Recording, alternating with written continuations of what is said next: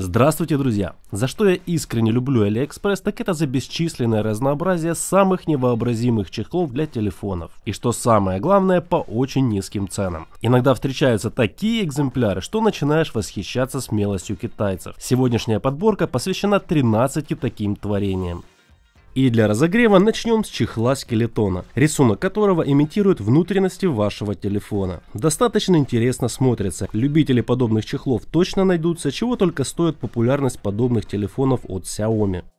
Следующий чехол один из моих любимых. Продается уже достаточно давно и пользуется огромной популярностью, так как имеет термопокрытие, которое меняет цвет от прикосновений. А если сказать точнее, то от температуры ваших пальцев. На выбор есть 4 цвета. У меня было два таких чехла, неплохое качество, внутри мягкая подкладка, дабы не царапать крышку и копеечная цена. Что еще нужно?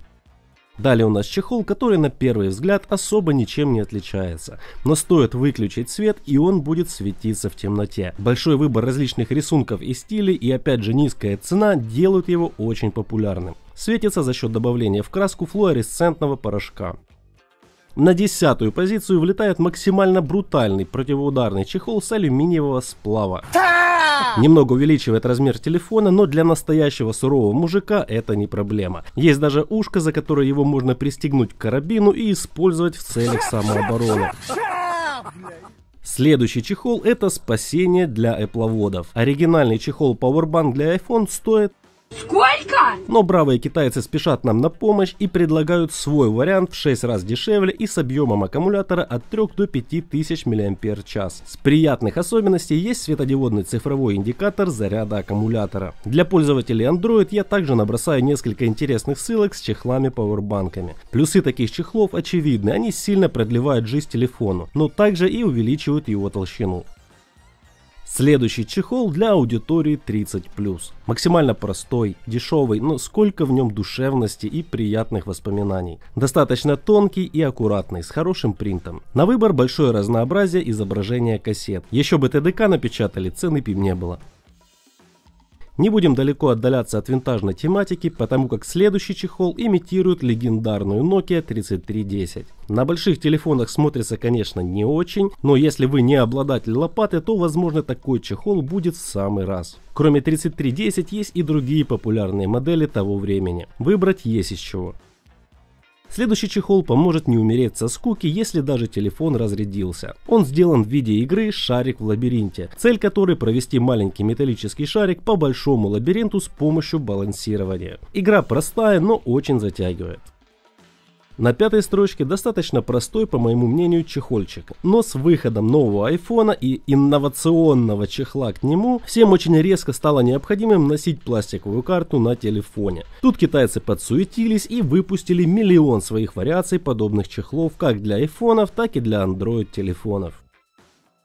Далее у нас чехол для любителей фотографировать себя любимого, ну или любимую. В общем, чехол с селфи-подсветкой. Достаточно толстенький, так как внутри установлен аккумулятор и светодиодные ленты. Имеет свою отдельную зарядку. Свет достаточно яркий, в наличии 6 цветов на выбор.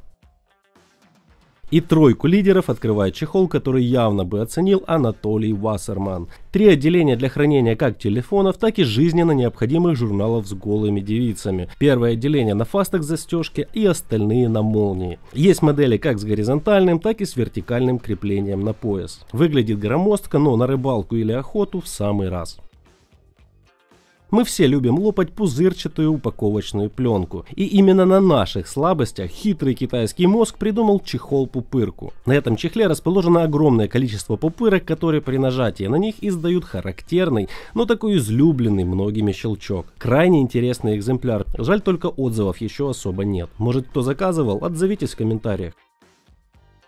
И топ-1 в моем сердце это чехол мини-приставка из 90-х. Всем, кто помнит, как играть на ламповом телевизоре, посвящается. Легендарная Контра, Супер Марио, Пакмен, Формула-1 и еще 32 популярные игры того времени. Чехол немного толстоват, так как в него установлен цветной дисплей и отдельный аккумулятор, но все же это того стоит. И если игры 8-битки или Дэнди вызывают ностальгию, то крайне рекомендую его к покупке.